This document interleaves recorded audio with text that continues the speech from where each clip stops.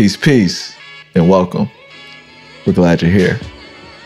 This is the Cook on Monday Morning podcast. I am here with the Vice President, the homie, Gabriela Lopez. Good morning, Gabriela.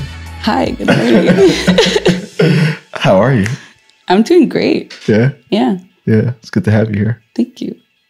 Um, at Cook on Monday Morning, we believe that if you own Monday morning, you can own the week. If you own the week, you can own the year. And if you change your year, you can change your life. So I have the great distinction or the great honor to serve with Miss Lopez on the Board of Education. And uh, she is the youngest elected official in the great city of San Francisco. You still hold that title? Um, I do, but hopefully not for long. Yeah, yeah. Well, I mean, that was um, that was something that you came in and did, and I think it was really inspiring. But I know the work you want to do on the board um, is more about the people you serve, not about how old you are. So, This is true. yeah. Um, thank you again. Yeah. So, why did you run for school board? Um, I ran. I ran because I didn't really know what it meant. I didn't know what it, what running a campaign looked like. Um, so I said yes because otherwise, if I if I would have known, I think I, I would have definitely avoided it. Mm. because of the struggle and we can talk about we can talk more later about um, what all of that means but i ran because somebody asked me to i had to sit and think about it for a long time and i thought it was a little ridiculous to imagine myself in that space.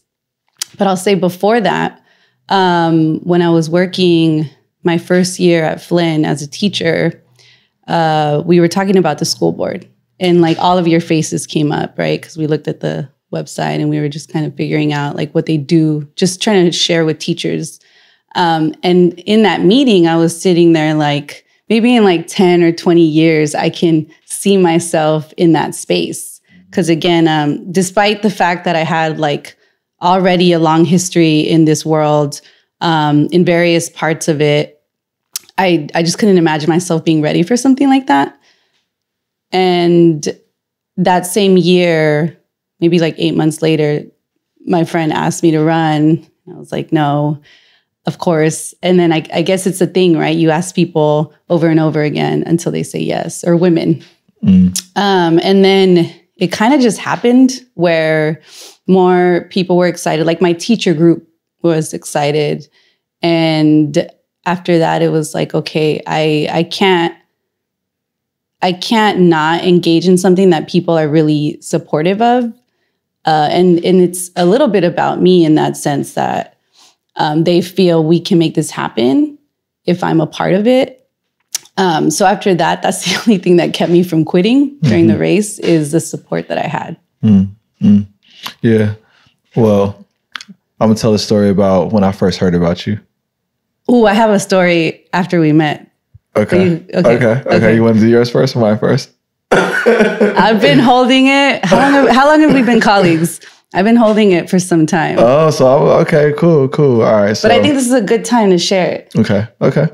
So, um, you know, when when when you get elected, you often get asked to sit down to ask people's endorsements, Mhm. and so meeting with school board members. Obviously, people want to run on the board. You want the endorsement of the the people on the board is a part of the political process, and so from a lot of good people, I had heard about you. Mm. people that um, I respect. And when we met, um, I was like, "Oh, she's she's not a politician." Mhm. it was kind of like a get to know. There, I had a certain expectation. I had this certain expectation of um, what the political process requires and how you have to show up to it. And one one important thing for me is that you have to ask for what you want. Mhm. And um, and so when I heard that, you know, you were telling me about yourself, you came down to my office when I was at Mission Bit. You were telling me that you were in a, that you were a teacher. Um, we kind of kicked around stuff about you asked me about the experience being on the board. I remember that, and and I was kind of waiting for you to ask for my endorsement. I was like, Is she going to tell me? Yeah, about we were. So I'll tell you, Okay. it was like it was like ten minutes total, and half of it was awkward silence. So I'm proud of myself for asking you about being on the board. I think for for someone like me, like that's some pretty good. In, that's important insight. Like this is this could potentially be something I'm in. So I need to hear from someone who's on it. Um, but my thinking, and it, and this is what I mentioned earlier about the problems with this process is how we engage with it. Again, adding into um, this sort of idea of who politicians are, um, which takes out all of the people who we're trying to serve. That's why, like what what you said earlier, like I'm a, I'm about who we're working with. Like I see these people every day. I know their stories, so I bring that with me when we're um, deciding about, um, you know, the work that we're doing. But uh, so I carried that during the race, and everybody saw it as like a, a almost like an immature way of approaching it. Like you really don't like I really don't know what I'm doing. Um, so why would she really doesn't know what she's doing? So why would we support her? Um, but then you're not really opening up to people who are engaged with the community that you're trying to serve. So it's it seems like opposite what we say we want to do. Um, so I go to when we were in uh, in our meeting together. Remember, this was after you canceled the first time. Okay, I don't remember that. Okay. I showed up. I showed up to Mission Bit, um, and then someone that works that that works with you shared with me through an email after I had arrived that you were out sick, oh, okay. and I was like, "Oh man, okay, you know, you're in North Beach." But anyway, no, it was it was it was funny, and then so we met again, and I I just got the sense like he is not open to my stories. Like this is not something um, that you're really about. So you had asked me.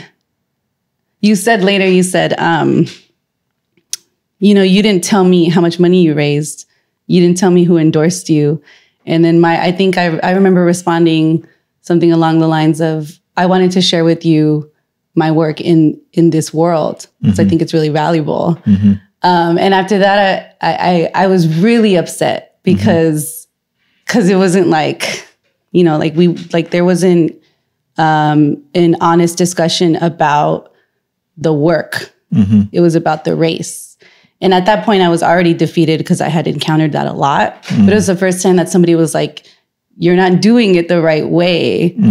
Um, so then that's when I was like, I, I walked home from North Beach. At the time, I was living um, on Pine and Gough, and I was like, like so, almost like, what am I? What am I even doing? Um, and I and I never forgot it. So part of me was like, God, I hope I win.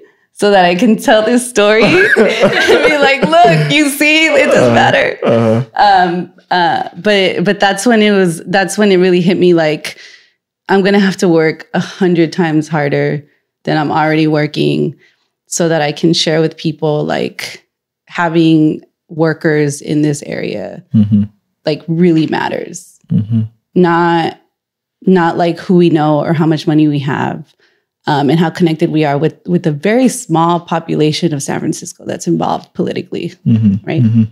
so I, I I like to think that that's part of the reason why my win was so big. Like we worked really hard, and and people were were shocked Mhm, that it happened. mhm.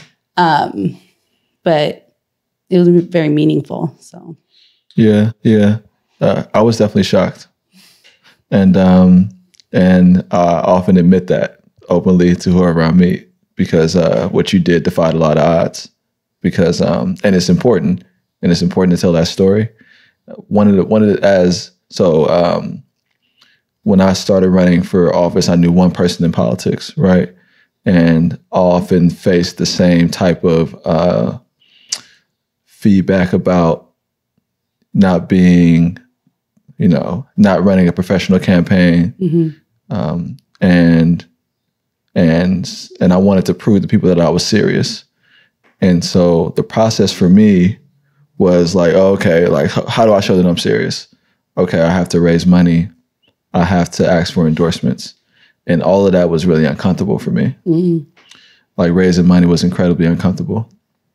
And so the way that I justified it in my mind was that the people that I would get to help if I went through this discomfort was worth putting up with the discomfort. And so um, I'm I'm at home by myself calling people uh, asking for money, right? It's a lot of hours alone hearing rejection. And I put up with that because I thought like the end goal is necessary. And I think that the way that you did it, um, and hopefully we can get into it, like you did it a different way. And uh, and that way got you where you're at, right? But they said, okay, you have to raise the money, you have to go ask the people. I'm talking to people, and I feel like you know I'm I'm from this city. Like Right. I I grew up on welfare, you know, and I went to a good college, and I did it coming from a high school in the city that um, didn't have a, a great area of the city, didn't have a, a great reputation. Like I, I came from Bayview, you know, going to high school in Bayview. I grew up in this neighborhood, but I went to high school in Bayview, and so I felt entitled to people's support. Like I'm from here, how you not going to support me? You know, so I, I felt the same type of um, uh, animosity, but I feel like I put in the work, and the work matters. The work of like the political work, you know, the political work, the conventional political work matters, and I had to sacrifice a lot to do it. And so, and so after I met with you, you know, my feedback to everybody was like, "Damn, I love the idea of Gabriela." You know, like teacher, woman of color, running for school board.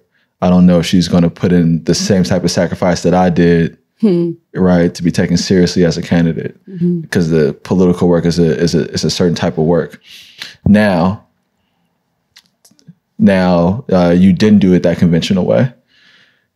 And you so you won a citywide race and i'm gonna say you know i talked about this in the past podcast and i'm gonna let you talk about i want you to kind of get into it and i want you to talk about your upbringing and all of that but but I, I i have to talk about a little bit from my perspective how astounding it was for you to win this race because um, you weren't politically connected in the traditional way. Uh, you didn't go out and raise all the money in the traditional way. You didn't get the endorsement of the teachers union, which is really important in this city. You didn't get the endorsement of the Democratic Party. And so I was sure you were going to lose. and you got, you came in second place at the votes, and everybody was like, "Who is Gabriela?" I know. You know what though? I'll say I'll say they still do that. Uh-huh. And that's why like even even after this year of work, like I'm vice president of the board now. Mm-hmm. And I feel like people are really just like th- like it's like it's a silent come up. Mm-hmm. Like no one is paying attention and it's almost to to our benefit sometimes. But I definitely still deal with the like who who is she? Well, all of us that were watching the race, because your race was crowded. I mean, I, it was three. There were three seats. Yeah. Um, do you want to tell it?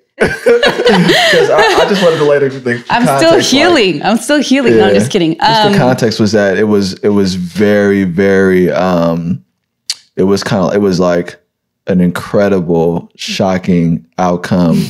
Just when you look at the common calculations, yeah. and so Well, so actually, it's you know this was after the the 2016 election, Mm-hmm. so we have um, in a rise in people who are dedicated and love their city um, and are didn't see themselves in these spaces before, including myself. So they're like we're we're making these moves to be more involved, and that means running for office for some people.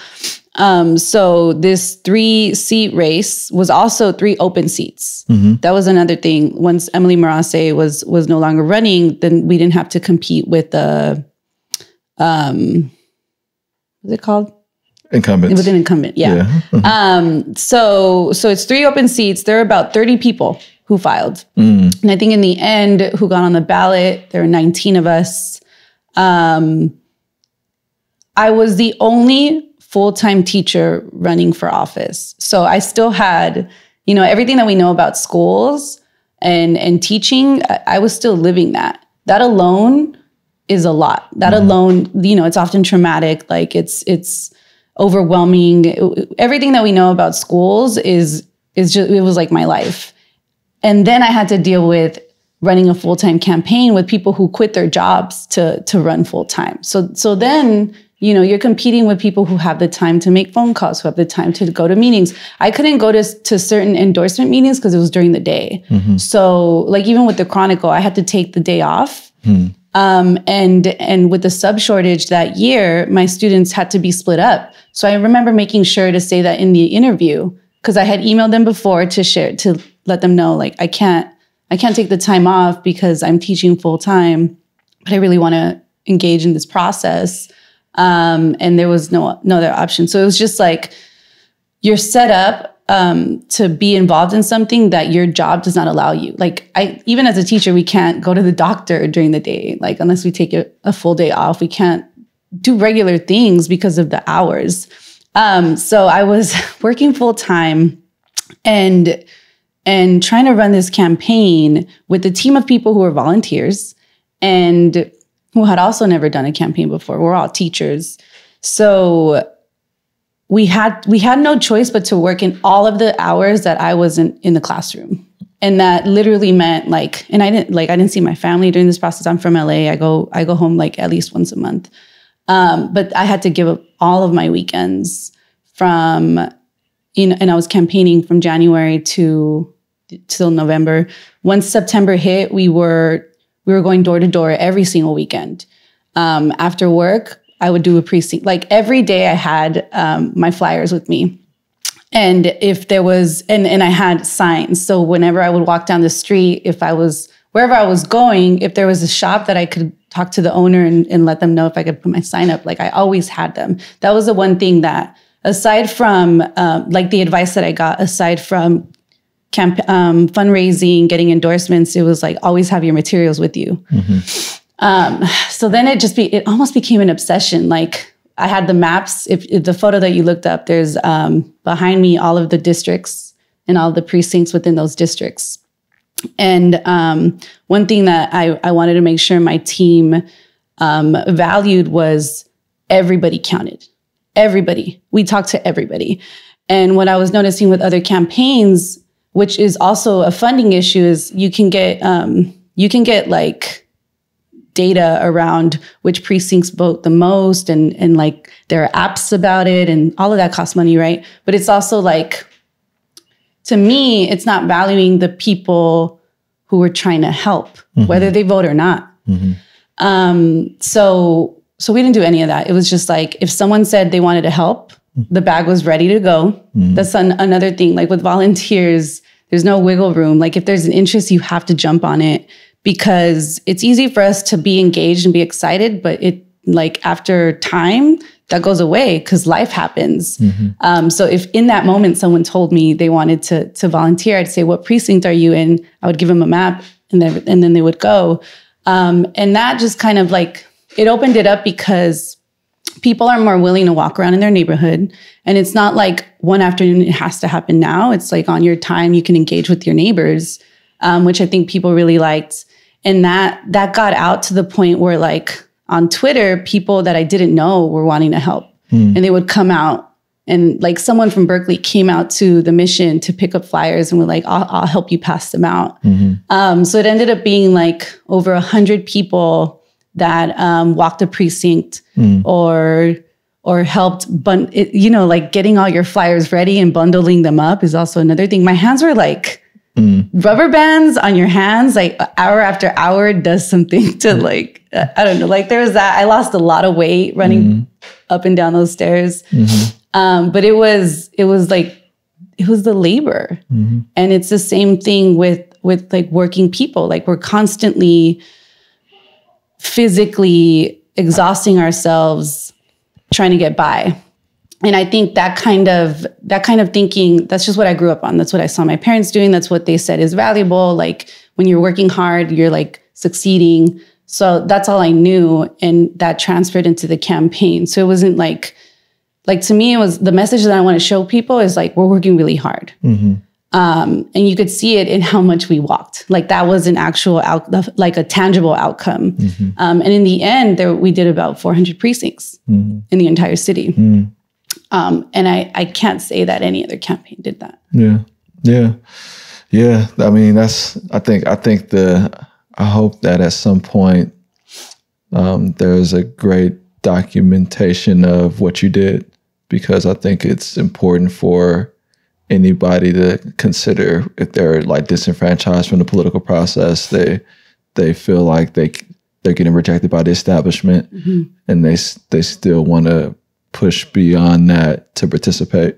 So not only that, because because winning is important, you know, um, I think the work that you put in, the people that you make, because I've lost a race before. You don't mm. know what that's like to lose a race. I did. I don't know why I'm laughing. I didn't mean to laugh. Like I know. No, well, we, were, we, were, talking about before. The, I know that's what yeah. came out. um, but but uh, yeah. So so doing that and winning is significant. And so um, so you talked a little bit about you know working hard and and being a teacher I don't know what that's like either because you, you, did that. But I'm I'm just wondering about that extra gear because what was your energy like before you started running? Like, were you teaching and then were you like yeah. laid out oh. all weekend? Like, what was it? Oh God, um, no. So it's it's the same, and I actually paused that sort of. Um, I, I, I had to like balance it out once I got on the board, and then I, I ended up working teaching in Hayward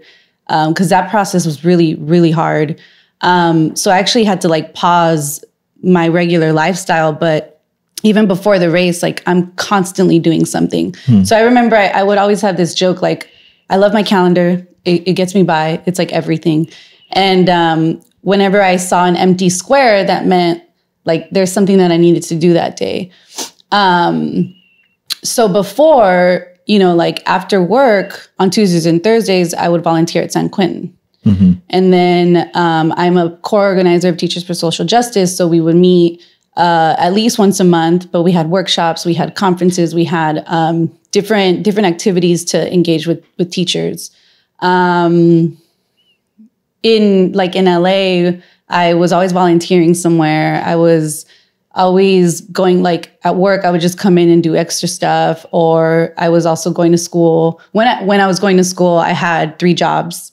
Mm. i worked at a restaurant at night. I was tutoring and then i worked at the nonprofit inner city arts that we are now collaborating with. Mm-hmm. and next week um, the district is gonna is gonna you know like we're trying to like meet and pitch ideas so they're gonna like pick my brain.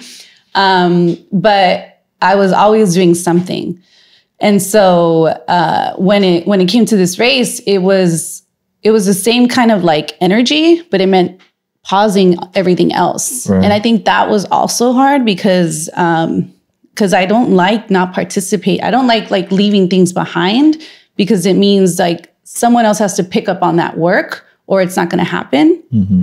Um, and even now, like I'm I'm kind of slowly getting back into that, but um, I was I was always just like running, mm-hmm. running. Mm-hmm. And either that or I was like jetting off somewhere or like going on a two week road trip or or doing something.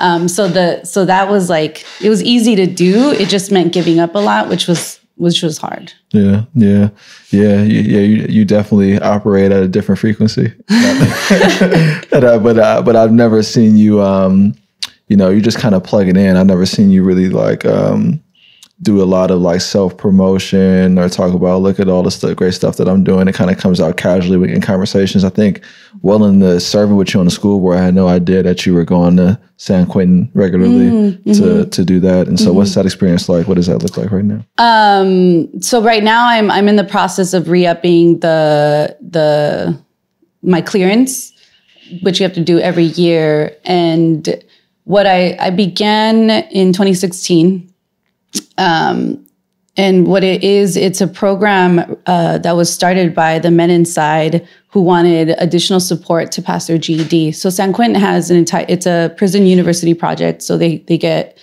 um, their bachelor's degree with, within, with the classes that they're taking inside. But in order to begin that process, you need a GED and so forth.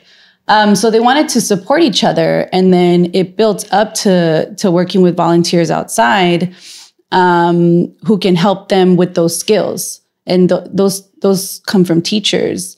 So I was on.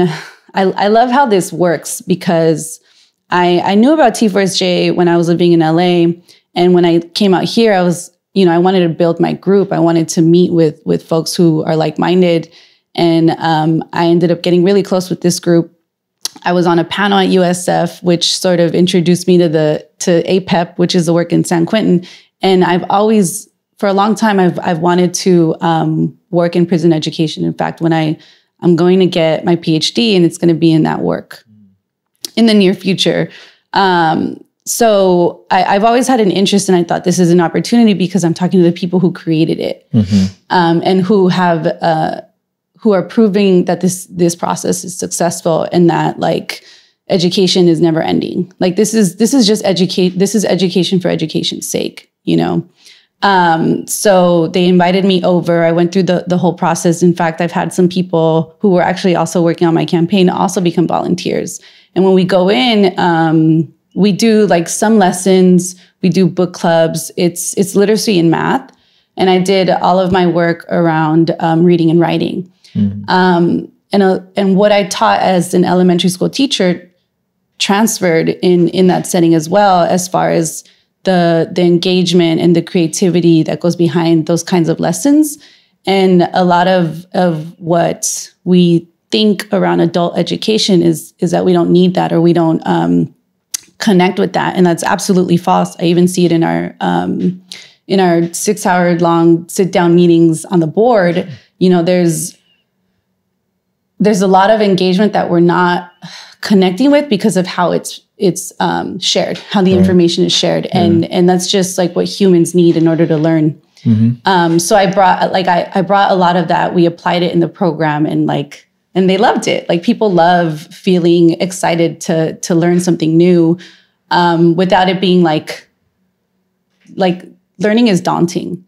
Um, and some even even my experience growing up, it was never like like I never felt supported or accepted. I went to uh, very affluent white schools on the west side in LA, and which is why I went into teaching. But that, but that sort of like that initial response and um, relationship with education is what I know and what I I know the men are um, have experienced because they share that. Mm-hmm. Um, so so to see like to see education um, help light up someone's thinking and like open up their experience with this process every day I left, I felt like I felt really enlightened and I felt like the journey was worth it. To get there is really difficult, right? And and they talk about that a lot too. Like how do we support people because you're giving up like five hours of your day mm-hmm.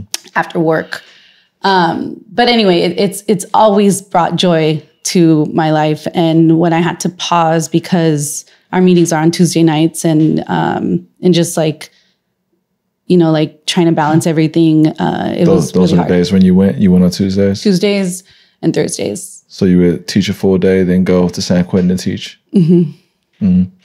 Yeah, you're kind of superhero. I mean, that's kind of corny, but like, but I mean, I, I think that uh, I mean, you're, you're committed to to educating people, and you've done it in places where the disenfranchised are. Mm-hmm. So, so talk a little about like the school community at Flynn Elementary, all the beauty promise mm-hmm. struggle that that school had w- while you were there. When did you start at Flynn? In 2016. Okay, and Flynn is in like the Mission Bernal mm-hmm. area, right? It's actually like the cutoff. Yeah, yeah. So you talk about it. What is the? Um. So Flynn is it really is like a home because you have you have families who are dedicated uh, and generations of families who have gone to Flynn who like remember LeConte. Like they've they've participated and engaged and stayed um, loyal to this community for generations. And then you have teachers who have been there for decades. And then you have new teachers who are like embraced when the, the moment they come in. Um, actually, a colleague of mine who I'm really close friends with now, just because we've worked together, uh, called me over the phone when I was living in LA to to get me to work there, and it was it was so during that time. SFUSD started that school year with 90 empty classrooms. Like we, we weren't where we are now. The moment I sent in my application, it was like offers after offers.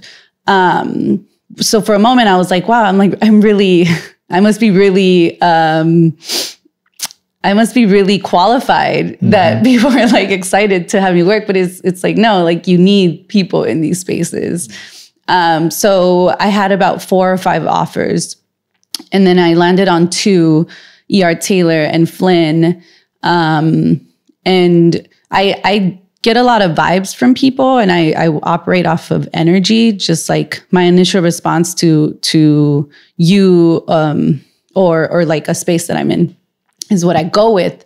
And I didn't I didn't sense that with with the first school, but I did with Flynn Plus, my colleague um, took the time to like share with me her experience working there, and we would be partners.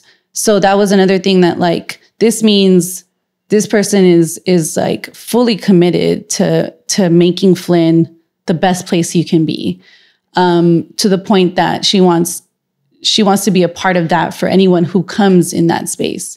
And so, um, like when it, you know, you're new to a city and then you start, you spend every day with these people who are going through the same struggles as you. Uh, you build something with them, and and to this day, these people are in my life because we were more than colleagues. Um, but that's just what Flynn does, and and there's such a beauty inside that that doesn't transfer to the outside world. So anytime, like it, it got to the point where I got really frustrated with people who would say this. I think it's like it just goes to show like how little you're paying attention.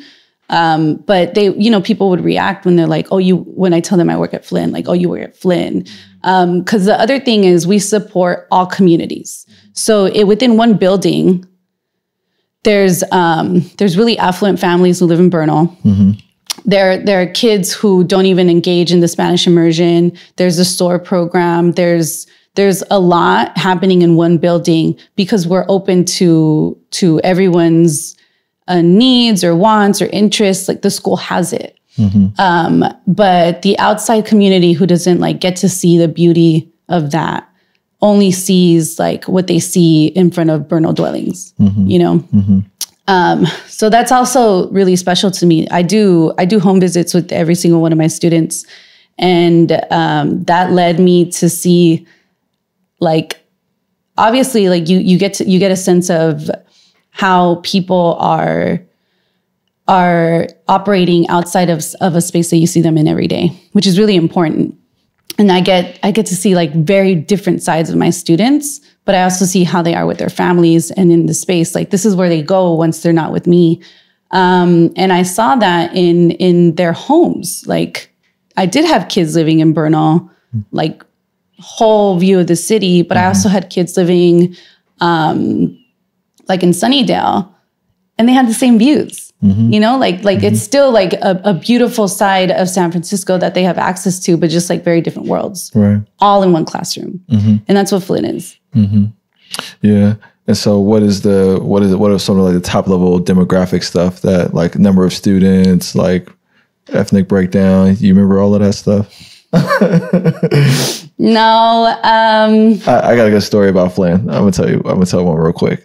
Yeah. Yeah. So so a good friend of mine was the assistant principal there for a while. His name is Sean Messenger, and he moved on to another site. He moved on to be a principal at John Muir, and now he works in special ed at central office. Mm. But Sean asked me to be the graduation speaker at Flynn. I think it was like the year before you got there. I heard about that. You heard about that? Yeah. Okay. Did you go, was it at a middle school? Was that um, what middle school was it? This is at Flynn. No, this is at Flynn Elementary. This was at the Brava Brava Theater. Oh. They did their graduation okay, yeah. Yeah, at, yeah, at uh, Brava on 24th. Yeah. And so, you know, occasionally, and this will happen to you more and more, like we get asked to speak at graduations. I was asked to speak at Flynn's last year, but okay. it was my group. Oh, okay. So, you know, okay. so I have that too. Yeah. Not just you. Okay. No, just kidding. Well, well, the Flynn graduation was unlike anything I'd ever experienced because it was like a um, raucous, like stadium feel yeah. to the ceremony. you know? It was like like the parents were screaming at the top of their lungs at fifth grade graduation. Yeah, yeah, yeah. it was so much fun. And so, you know, I had I did this thing where I was like, if you if you love somebody on the stage, make some noise. Mm. And then the whole crowd like it like hit my chest. I was like, I was afraid to talk. It was crazy. So the the love at Flynn is deep and they are vocal about it. Mm, Um, but yeah, that's nice. high level, the demographic picture of Flynn. Um, so it's it's mixed, and in my even in my classroom, like that's what you'll get. But it's majority majority Latino, African American, and white. Cool. And what grade did you teach? I taught fourth, and I would loop with my students, so fourth and fifth. Got it. And so you were there for, well, I guess two years before you became Yeah, two and a half. two and a half years. So you went from the classroom to the top level policy making position. Yeah. So I. I, I like to I I'm um I work with USF as a supervisor for their um their master program and um teacher student student teachers who are aspiring to be um classroom teachers. And I think back when I went through that process, it was 2014 through 2016. And I remember just like grad school in general, becoming a teacher, there's so many hoops that you have to jump through.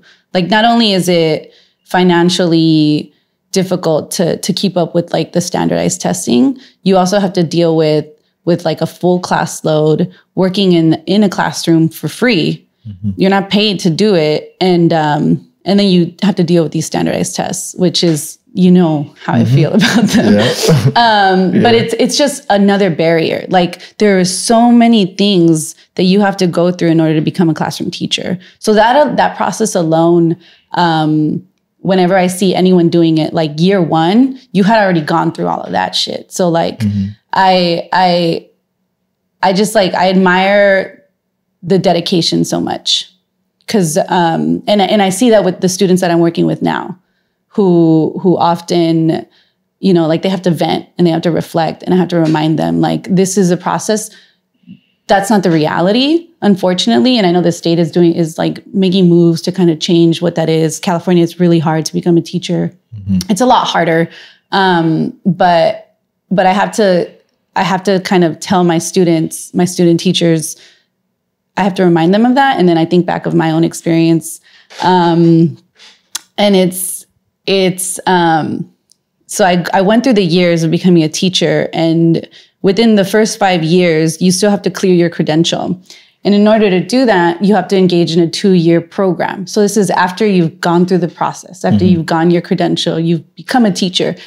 In five years you have to go through a two-year program. SFUSD provides that in the process which is really we're really fortunate. But like in la it's a it's another side like weekend thing that you have to engage in that's like $3000 when you're already teaching. My first year of teaching, I got paid 44,000. And I thought like I made it. So so that's just like again a barrier for people who are already working like like with their whole heart, you know? Um so so in my first my first year I completed my masters. My second year I cleared my credentials. So the first 2 years I was going through this clearing of the credential process. My third year um I had a student teacher in my class. Like I was a master teacher. And this is another thing that I share with people, especially in education programs at universities.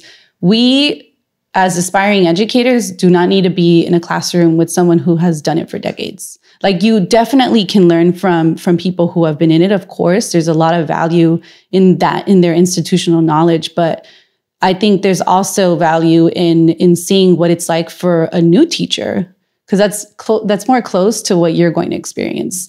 So I pushed for that at USF, and I had a full time teacher who was getting her master's, and and we we became co teachers. So now my my 22 students had two educators in the classroom, and those are the kinds of things that like. I I was able to accomplish because of the relationships that I built in the city. Like the school didn't provide that, the district didn't provide that, but it it can happen. Um, when we talk about like co-teaching, like there there are ways um, and my fourth year, I won this race, and then, and then that's it. Now I'm not Yeah. teaching. But but I, I I look back because I want I want like future teachers to to understand like those are the things they say are really hard. Like clearing your credential is really daunting. Um, when getting your master's is really difficult. Like all like it's almost like a pressure and a fear-based way of keeping people down that I don't agree with. And a lot of education programs um, operate in that way for whatever reason. They're not like they're not really helping people. Like they're not really empowering future teachers. And I, um, so I, I, the people that I work closely with, I try to share those stories to be like, it's it's a process and it's a lot of work. But once it's out of the way, you can move on and like never think about it again. Yeah, yeah, yeah. I- like. I mean, I think I think it's an amazing idea to have a process that people feel uplifted as they're participating and and trying to get through because you know um, the, the teaching profession is sort of a dying profession in the country, and it's it's one where um, people aren't. You know, there are people that are coming, growing up that want to be teachers when they grow up, but it's sort of like a, a stopover to something else. Yeah. Like it's been a lot of bad press about what it means to do it. Uh, there's been a lot of reform efforts around how to, you know, privatize education. There's like a lot of that happening, and um, and so we have to revamp how it's designed with the idea of that when people start, we want them to feel excited and jump into something that is transformative. Right. Um, and you know, your career has kind of been transformative, and so Mm-hmm. now you're trying to transform a school district. What's that like? Um, You like that transition? I tried to. It's, it's smooth. Okay. Um, I I realized this late in the campaign, but to me, it feels really simple. What we're asking for, what we want, is very simple. As a policymaker, Yeah. you mean as you were a candidate, or now that you're governing? Um, I, I the idea came as a as I was a candidate pushing for the policies because you have to have an idea of like what you want people to support you for. Um, and now that I'm in it, it's it's kind of that same like it's really easy. Making it happen is is where the politics get in it, not and where like the relationships are really important and like how um, engaged people are in in your ideas and in your thinking. Like all of that is why we've been stalled you know? Um but the work is definitely not simple. I don't i don't think i certainly don't take it for granted but um i i think you know i really value being on the board. And we we come in with like knowing what we need. And i guess our job is like so far has been trying to figure out how to get all the rest of the people to agree with you. Mm-hmm. Mm-hmm. You know? Yeah. What What have been some things that you've been excited to work on since you've been on the board? um the do you remember the arts resolution that we were passing mm-hmm. That has been exciting. That was really exciting because a lot of my teaching was centered around that. So like i said i worked at this nonprofit in la it's called inner city arts. And all of the work that we did was around um, helping teachers bring arts into their classroom with like little to no resources. Like how do you make um, how do you create magic with what's given to you because in in our spaces especially in la like that that's just what we know. There aren't a lot of resources. And um, I just saw like how we we did a lot of professional development and we worked with with teachers with principals. Then like more and more people got excited about these ideas like whole schools would come to our site. Um, so all of that helped build my own practice and i saw it within my students and i saw how then they would communicate with people and how they would take the ideas that we learned in one lesson and like apply it to their life when we were outside or when they were talking to their peers um, so to think that the resolution that we were pushing forward had those ideas set and to kind of make it happen for the district was really exciting um, and also interesting because we got a lot of pushback.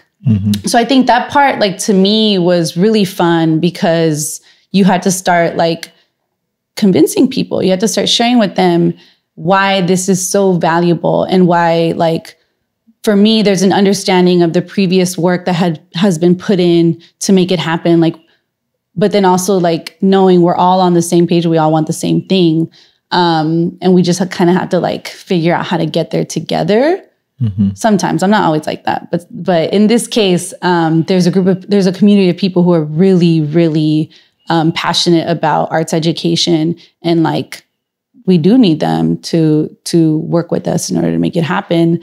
Um, so I kind of like saw it felt like months of of work and convincing. Um, and then once I, I saw towards the end, like there was a little more engagement, and then it passed, and it, and you start to see it come come to fruition, which was really exciting.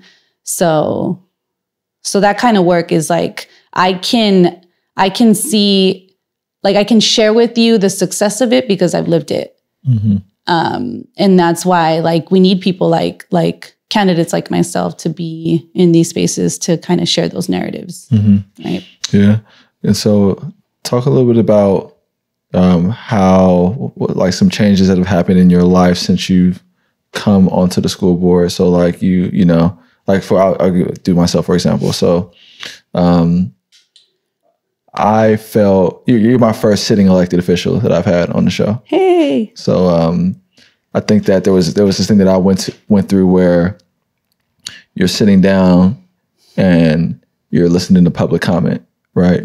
And uh, a lot of people are really angry about you know angry at you about whatever's happening, and they want things to go a different way than that, that they're going, and um, you get a lot of you know a lot of direct attacks, a lot of like animosity. And one thing that happened for me, like one thing was that I had to understand that this wasn't really like these people don't actually know me. This is not actually personal. It's not about you. But then when you hear it a lot too, it's easy to be like, oh, okay, this is happening again. I have to kind of like, I have to detach hmm. and understand this is what it is. Mm-hmm. But it also made me like a bit more guarded. Hmm. And so, you know, my circle of people got smaller. Um, you know, only, you know, I, I wasn't going out as much. Like mm-hmm. I went out to something and a parent wanted to jam me up about the school assignment process or whatever. Oh, of course. And so, have you had any shifts like that? Have you like learned any lessons to say like, man, like, like, because this this work is is beautiful and it comes at a personal cost. Yeah. Yeah. Um, well, when I won, everything in my life at that time, everything in my personal life had changed. Um, so there was there was that just kind of like beginning, it was almost like beginning a new life, you know. And I shared with you like I I was going through a divorce. Um, I had to switch my jobs. I I stopped drinking. Like um, you know, I wasn't going home as much, and that's like a big part of of my happiness. So, so just that that shift alone was, um, I was really lonely. It was uh, the first time in my life that I ever lived alone, which I I remember um, resenting when I was in my last relationship because I I will never I I would always think I never I'll never get to experience what that's like. Um and and then I did and it was great. I was very happy, but I was also like going through all of these transitions. So um so beginning my work on the board and dealing with all of those shifts was like the hardest time of my life. Like getting up to work at 5 a.m. to drive to Hayward, then to come back to a meeting. Like I couldn't build out there. And I was like, I felt like I was like half um, in invested in this work here. It was um, probably like the lowest point of of my life. So in that sense, it, I just kept having to tell myself like this was worth it. Like this going through this was worth it. But I also have to admit I never thought I was going to win either. So so there was a lot of there's dealing with that. Um, Yeah, yeah. There's like this metamorphosis that happens with um when you transition into this other aspect of your life. Like you, you ever see those like those online um surveys to find out what your spirit animal is? no, no, no, no. But I think I know what you're talking about. Um, so I took one, and my spirit animal was a butterfly. Oh, And uh, at first I was like, I ain't no butterfly. I'm a lion. You know, the, the game has a butterfly tattoo on his face. Oh, you know that? Yeah. well, you know, I'm like, you know, I'm too like strong to Right, be. But then transformation was essentially that's like the the process for a butterfly. There, there's Yeah. something, and then they they float and fly. Right. Um, you know, I doubted your ability to win and getting to know you. I'm like, the city is so glad to should be so glad to have you. Hmm. You know, it is because it's it's not only um, I mean, I think the way that you won is important and significant, but the person that you are for the work that's that this is, I think is um you- it's, it's like it's also it's even more important because uh it is a rare combination when you can have someone that is unyielding in their fight in pursuit of an outcome that is on behalf of the disenfranchised, but is also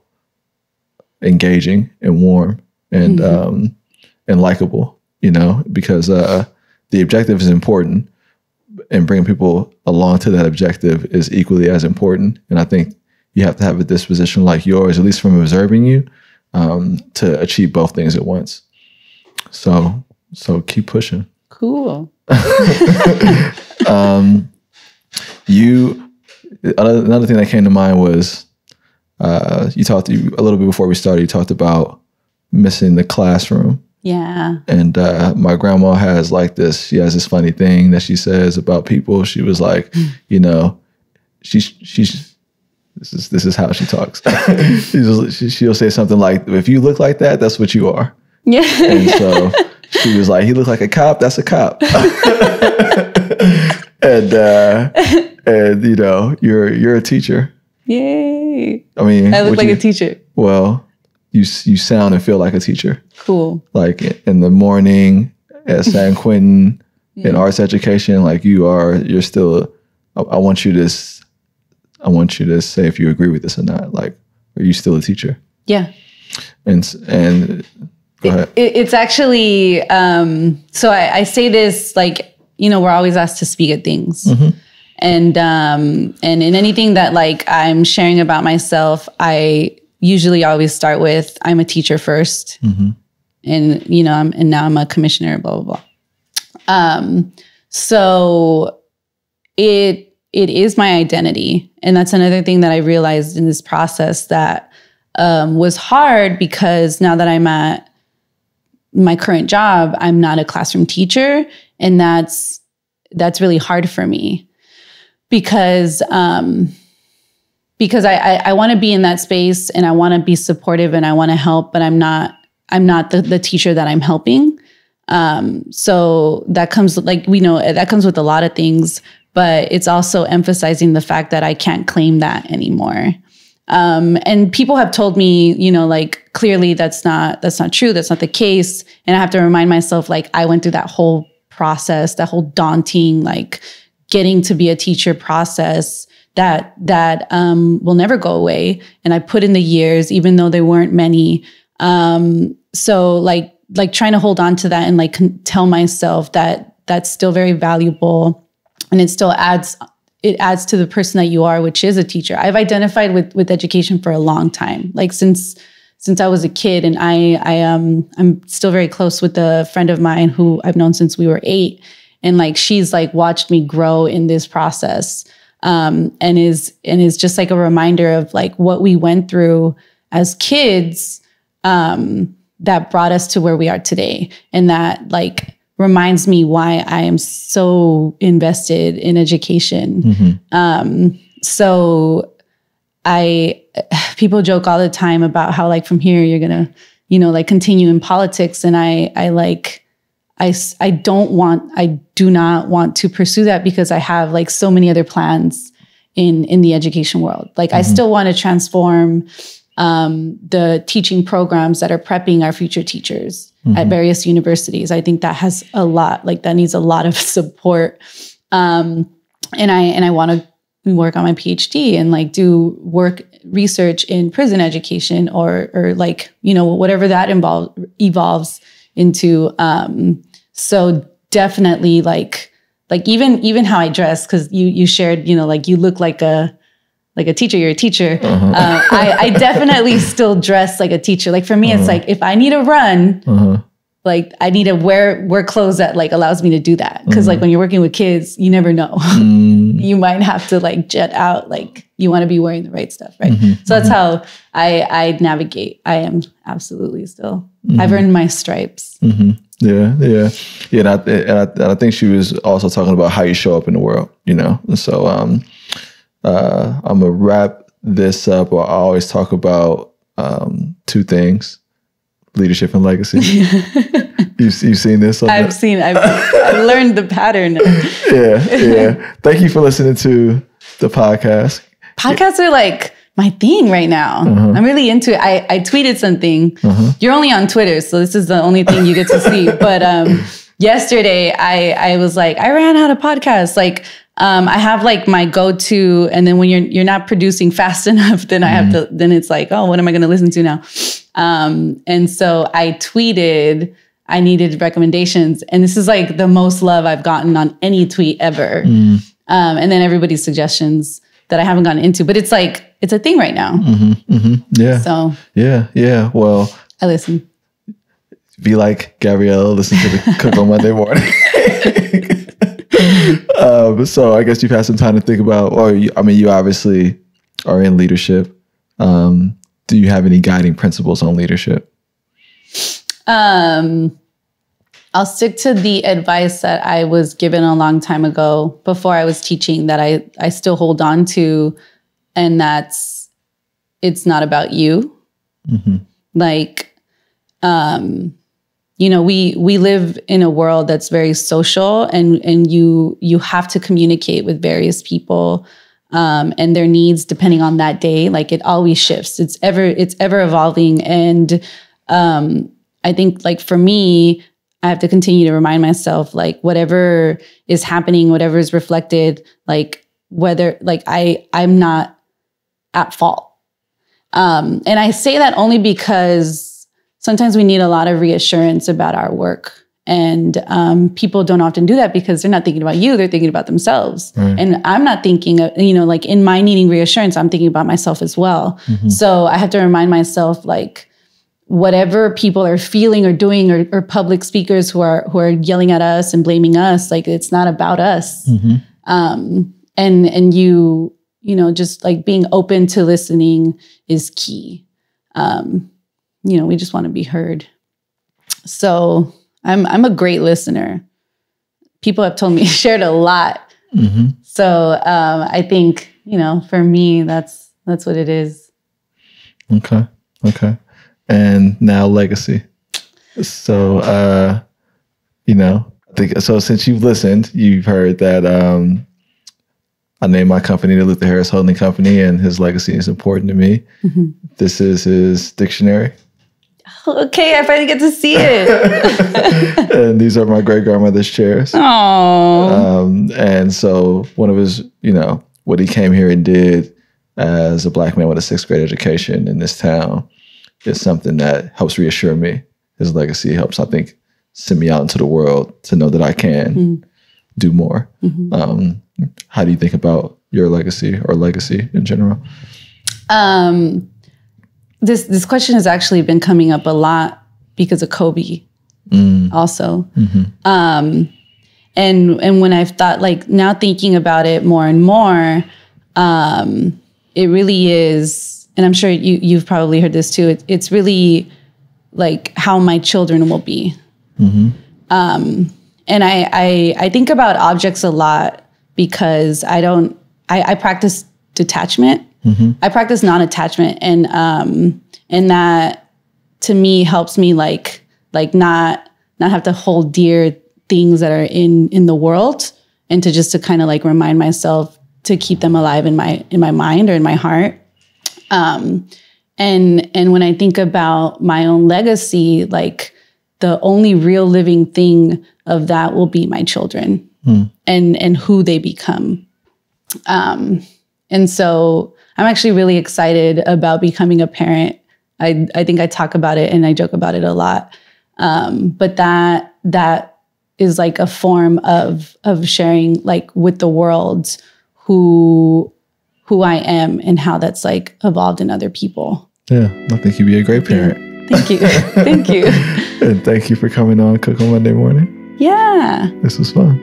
It was fun. Oh. Boom. peace, peace, and thank you for listening to another episode of Cook on Monday morning. We had the lovely and the inspiring Gabriela Lopez on today's episode, and you know everything that she has been doing at such a young age. I think really represents the power of uh, citizens participating in their local government, relying on you know the experience that they've had to inform their work, and getting it done anyway, even if it's not done the conventional way. So thank you to her for coming on and sharing her story, and for the work that she does on behalf of the families of San Francisco. I'd also like to thank the people that make our podcast possible. I'd like to thank our videographer and producer, David Topete. Right on, homie. I appreciate you. I'd also like to thank Fernando Sico Marquez for uh, editing the newsletter. I'd also like to thank everyone that has been subscribing and telling their friends about Cook on Monday Morning. At Cook on Monday Morning, we believe that if you can change your Monday morning, you can change your week. If you change your week, you can change your year. And if you change your year, you can change your life. We have been on this journey together to build our community to 2,020 subscribers by the April 30th, 2020. I see the subscription notifications every day, and I appreciate you greatly for spreading the word, for talking about what we're doing here, for giving me feedback. Uh, please continue that. If you want to reach out to me on Twitter, you can find me at Stevon Cook. I also started a company called the Luther Harris Holding Company, which provides strategic advising, brand awareness, and community engagement support to companies that are looking to grow in that direction.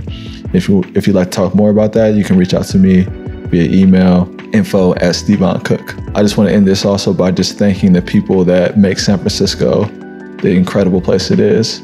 They are our muni drivers, our teachers, our school lunch workers, people that work in our janitorial services. Uh, they're our first responders. They help keep our streets clean and they keep our city running. The city is what it is because of you. I greatly appreciate you. I look forward to continuing to build with you as we all improve our city and take it in a, a better direction. I'd also like to acknowledge and appreciate and big up everybody that is in cities across the country helping to improve themselves and then go out and improve their cities by changing their Monday mornings. They are in places like LA, Houston, Dallas, New Orleans, Jackson, Mississippi, Philadelphia, Detroit, Miami, all over. Uh, thank you. This podcast is for you. Please reach out to me. Let me know how it's going. I look forward to transforming 2020 together. Peace, peace, and we out.